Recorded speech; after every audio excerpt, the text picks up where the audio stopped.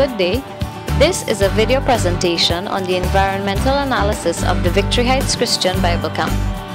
This video presentation will seek to describe the study area with a holistic view of the human subsystems and how it interacts with the biophysical elements of the environment.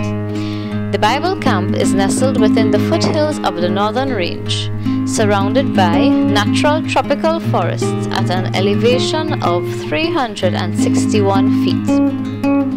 Densely populated residential areas lie to the south of the camp. At the campsite, deforestation has occurred for the construction of various accommodations for recreational, residential, cultural, and economic purposes. To the southwest, there is a dormitory used for visitors. Behind this building, one can enjoy a beautiful view of the low-lying landscape of Five Rivers, Trinidad. There are other buildings that accommodate campus. This is the girls' dormitory. North of there is the women's dormitory. This building is isolated from the main human activities that occur in the area and is surrounded by natural landscaping ideal for relaxation. The vegetation has been cleared to accommodate parking of vehicles. The boys' dorm lies to the east of the facility. Behind this dome is a steep slope of natural forested area which provides a beautiful ambience for nature lovers.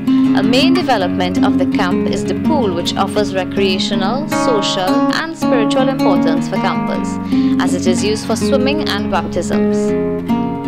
There are many other developments that offer recreational and physical health. Mass deforestation has occurred to create a cricket field on the northern end of the site. Churches visit to partake in the annual sports day.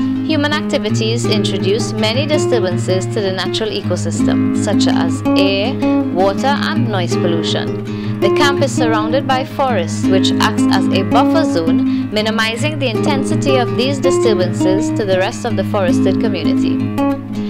Now, in addition to the visitors' accommodation, there is a permanent residence for the pastor and his family. At this location, alien species of plants and animals have been introduced to the environment for human benefit. Native flora have been replaced by visually appealing flowering plants and pets have been brought to the area. Roads have been paved throughout the facility providing human accessibility to each area. Cars create air pollution as exhaust introduces toxic chemicals into the atmosphere. Other forms of pollution created by human activity include solid waste on land, wastewater, and combustion of unwanted material. There are numerous bins distributed throughout the camp in an effort to minimize the effects of pollution. Workers also clean the area to maintain the integrity of the site. However, there were few discoveries having negative impacts on the environment. Vegetative health is decreased in areas where garbage is burnt. It can be seen that the surrounding grass is also burnt and the trees have few withered leaves. There is another area of air pollution in the east of the cricket field. The smoke contributes to global warming as carbon dioxide is released into the atmosphere. Besides impacting the natural environment, there is a reduction in the aesthetic appeal of the area. Land is polluted with scrap metal and plastics. Sharp or corroding material can injure humans and animals. On a more positive note, there are some reforestation efforts being undertaken on the southwestern side of the campsite. The reforestation project is being conducted by the local fire service of the area.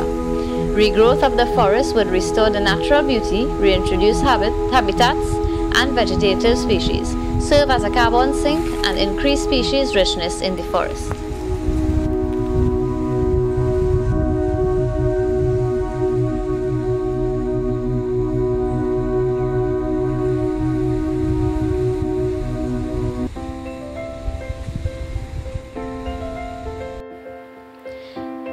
Humans benefit from the site in a variety of ways. We will now look at four human subsystems that interact with the area.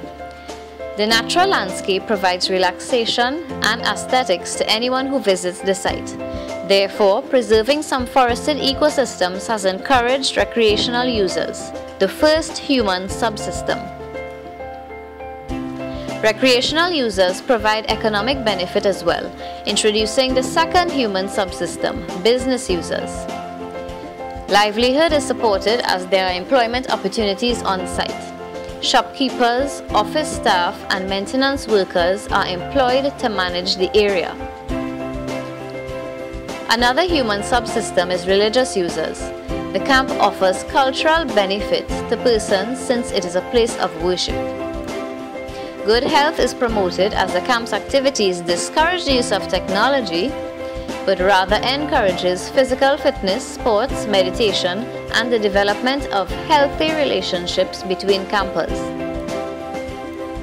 The fourth and last human subsystem is the residence. The permanency of these users results in activities that have a greater interaction with the environment. The construction of a house, fencing and other conveniences such as a garage and storage areas at the site provides shelter and security for the family. The residents would continuously manipulate the natural environment to satisfy personal preferences. These users may replace natural greenery with a flower garden or use the land for agricultural cultivation. Humans also contribute negatively to the environment. This section of the presentation will look at the ways in which each human subsystem affects the environment. At the Victory Heights Bible Camp, we can see the effects of human activity on the environment quite clearly. These range from habitat loss and fragmentation to loss of species, as well as pollution and deforestation. Recreational users introduce pollution and other disturbances to the biophysical environment. Wastewater from the dormitories can affect the water cycle at the campsite.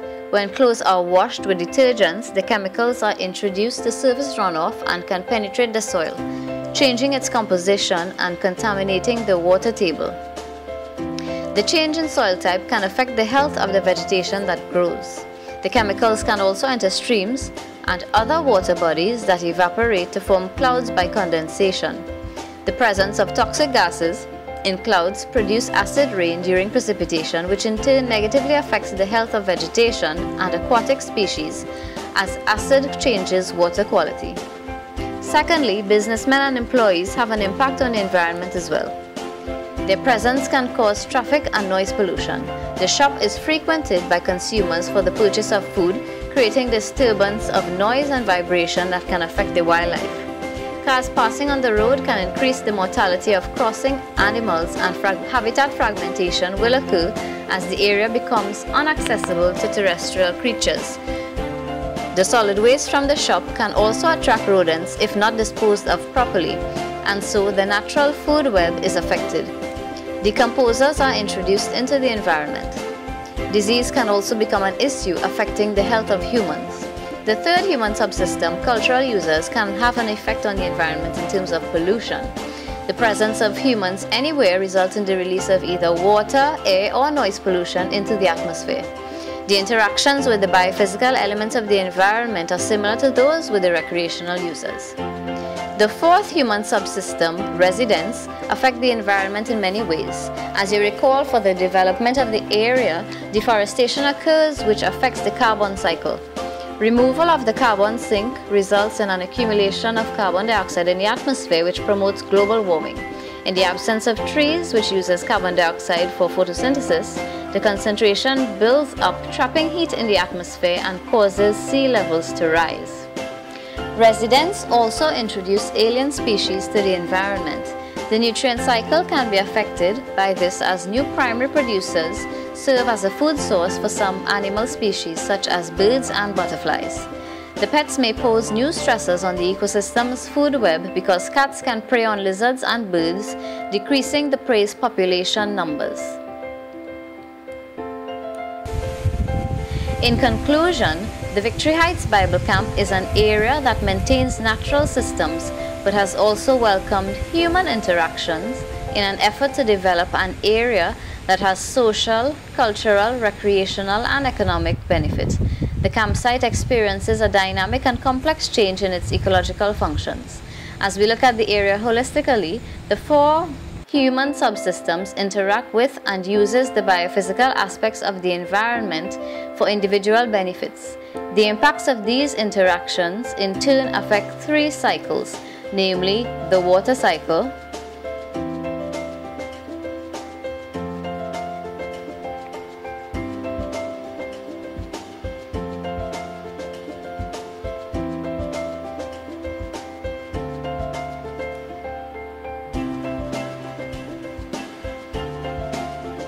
carbon cycle,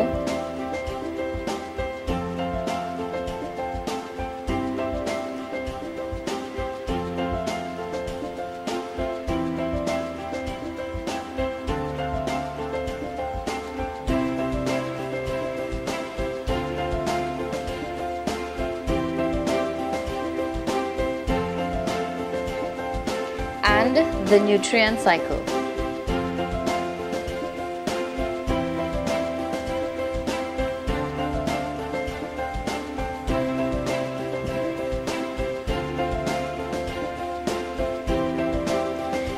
You for viewing my video presentation. I hope that the information provided will aid in an understanding of how humans impact the biophysical and biological aspects of the environment as they utilize natural resources for their benefit.